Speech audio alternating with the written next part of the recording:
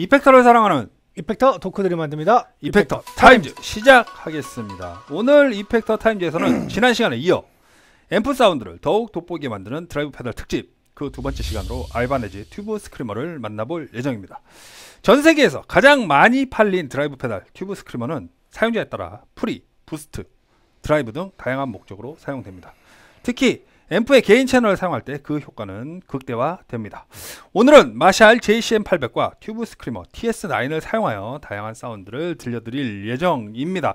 이 Tube Screamer 사골이죠 사골. 어, 저희도 이 Effector Times를 진행을 하면서 Tube Screamer와 관련된 컨텐츠를 가장 많이 촬영을 했을 거예요. 맞아요. 왜냐면은 오리지널 Tube Screamer 그리고 뭐 미니 버전 음, 그리고 이제 복각한 다양한 페달들. 그죠. 그 일단 그 복각을 했다고 덤벼들었던 그 수많은 그 회사들에서 나왔던 이제 그 Tube Screamer 계열이다 네. 하면서 그분들이 던졌던 음. 그 수많은 페달들 뭐 셀 수가 없죠. 그쵸. 음. 게다가 저희가 뭐 오리지널 페달과의 1대1 비교도 맞아요. 진행을 했었고 뭐 이 boost 특집에서도 몇 번 다뤄봤었고 정말 무궁무진합니다. 그만큼 정말 많은 사랑을 받고 있는 페달이고요. 실제로도 버즈비에서 가장 많이 팔리는 페달 중에 하나임은 음. 사실입니다. 이 많은 얘기들이 있어요. 음. 음, 이 Tube Screamer다 최고다라고 하시는 분들도 계시지만 또 Tube Screamer냐 하시는 분들도 분명히 음. 계시고 이 남들 다 쓰는데 왜 그걸 굳이 쓰냐냐 음. 그리고 실제로 이 Tube Screamer라는 페달 자체가 음. 처음 샀을 때 가장 실망을 많이 하는 페달 중에 하나긴 해요 어 맞아요. 그게 어떤 얘기냐면 음. 어, 너무 별론데라서 실망을 하는 게 아니라 너무 평범해서. 네, 너무 기대를 많이 했기 때문에 어떻게 보면 이게 모든 overdrive 페달이 가장 가운데 있는 페달이잖아요. 기준이 돼버렸는데 그렇기 때문에 가장 standard한 사운드를 들려주는 페달이기 때문에 맞아요. 어 밟아서 나는 이거 하나면 다 될 줄 알았는데 음, 어. 라고 생각을 했다가 실망을 하는 경우들도 많이 있습니다. 하지만 저는 이렇게 생각해요. 아예 튜브 스크리머를 안 써본 사람은 있을지언정 한 번만 써본 사람은 없다. 맞아요. 라고 생각을 할 정도로 굉장히 이 음.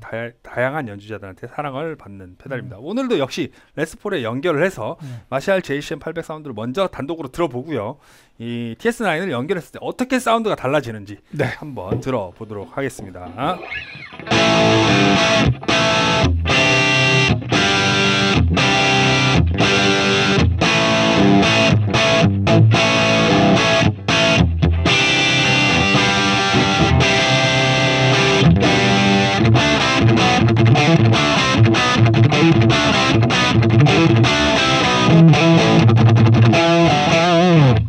좋습니다.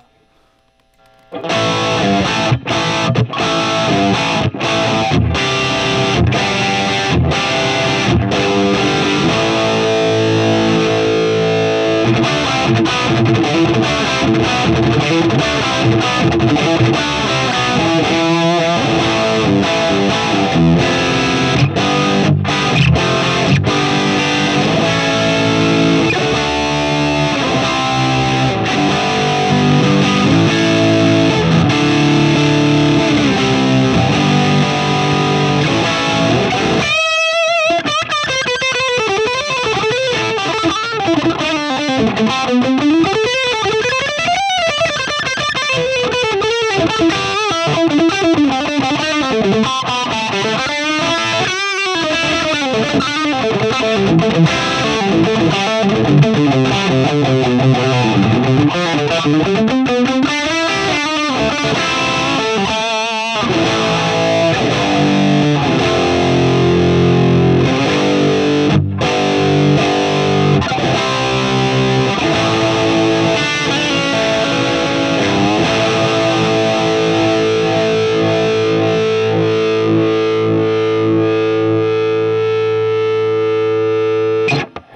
음. 좋습니다. 이 지난 시간에 다뤄봤던 Marshall의 Bluesbreaker와 비교를 안 할 수가 없는데 음. 저번에는 에, 앰프 오리지널 사운드에다가 Bluesbreaker를 켰을 때 약간 middle high 음. 이가 이제 좀 더 밀도감 있게 올라왔고요. 그리고 저는 이런 생각이 들었습니다. 지난 시간에도 언급을 했지만은 굉장히 뭔가 이 부글부글 뜨겁게 이 사운드가 올라오는 느낌이 강했고요. 솔로를 연주를 할 때 음, 굉장히 힘있게 앞으로 팍 튀어나가는 느낌이었다면 튜브 스크리머 같은 경우는 중음역대랑 저음역대, 특히나 저음역대가 많이 이렇게 부스팅이 되면서 이 굉장히 크리미한데 음. 부드럽게 힘을 실어준다. 약간 음. 이런 느낌이 이, 들었어요. 물론 많은 분들이 튜브 스크리머를 사랑하는 이유 중에 가장 큰 이유가 그 부분이고 제가 말씀을 안 드려도 많은 분들이 익히 알고 있는 음. 부분이긴 하지만 역시나 확실히 연결을 해보니까 지난 시간에 다뤄봤던 Bluesbreaker랑은 완전히 다른 음. 또 boosting 사운드가 연출이 되고 있습니다. 그 여러분들이 사실 가장 많이 들었던 계열이 결국에는 이제 Tube Screamer 계열과 앰프 gain의 이제 조합이죠. 네. 이제 뭐 가장 익숙하신 음. 소리일 것 같고 이게 뭐 808이든 뭐 거의 결과물은.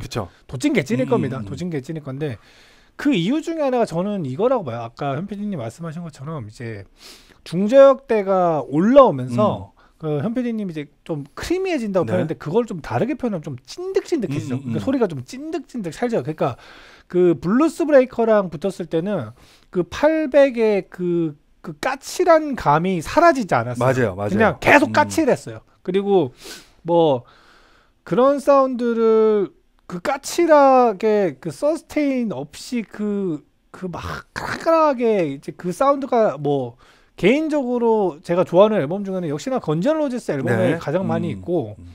Guns N' Roses가 그 당시 때 나온 어 LA metal 밴드들이랑 비교하면 기타 사운드가 가장 gain이 없죠. 음. 왜냐하면은 그 그냥 마샬 개인 그 정도에다가 네. 했고 그 뭐 아무래도 이제 레스폴로 뭐 물론 비비면 또 비빌 수 있겠지만 더 극단적인 개인을 쓰지 않았기 네. 때문에 그런 사운드가 잘 담겨 있는 앨범이 저는 이제 건전 로지스 앨범이라 생각하는데 거기에 만약에 이제 어 그 808이나 뭐 음. TS9을 음. 밟았다. 그러면 음. 이제 좀 갑자기 좀 다른 밴드로 음, 가는 음, 느낌이 음. 나는 거죠. 그러니까 이거는 쉽게 설명하면 좀 더 묵직하게 더 찐득해지고 그리고 sustain도 좀 훨씬 길어지고 네. 그런 쪽으로 가는 거고 Blues Breaker는 아니야. Marshall의 음, 음. 그 공격적인 그거는 그대로 두고 까칠함을 두고 그냥 그대로 boosting 시킬. 거야. 어. 이 계열이 달라요. 그래서 조금 더 Marshall을 Marshall답게 boosting 시키는 거는 역시나 음. Blues Breaker인 것 같고요. Marshall을 조금 더 어, 이 앰프에서 좀 모자라는 부분을 보강해서 음. 좀더 두툼하게 가겠다, 좀 끈적하게 가겠다는 거는 역시나 여러분들이 뭐 워낙 많이 들으셔서 알고 있는 그 사운드죠. 어쨌든 이제 Tube Screamer 계열이지 않나 싶네요.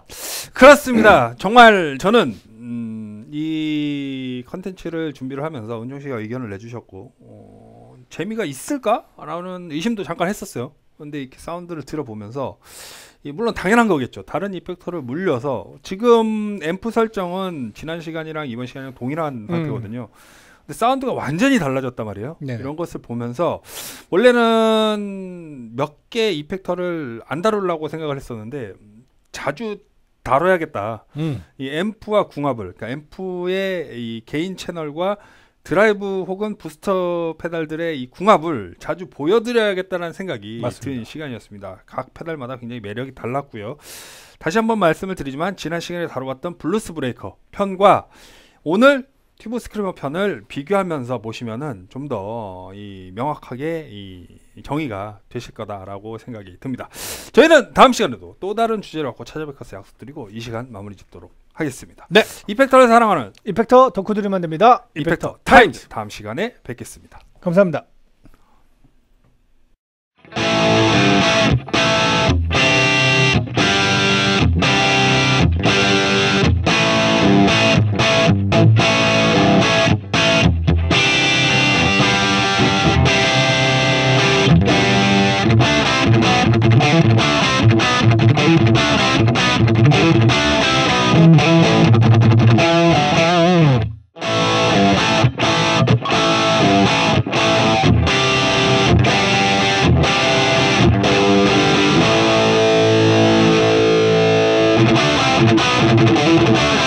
Thank you.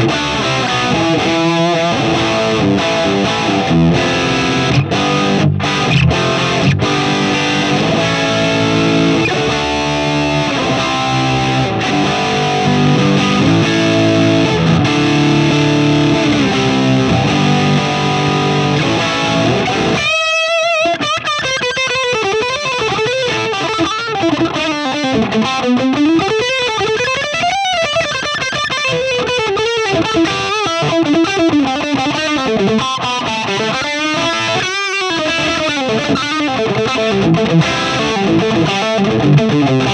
you.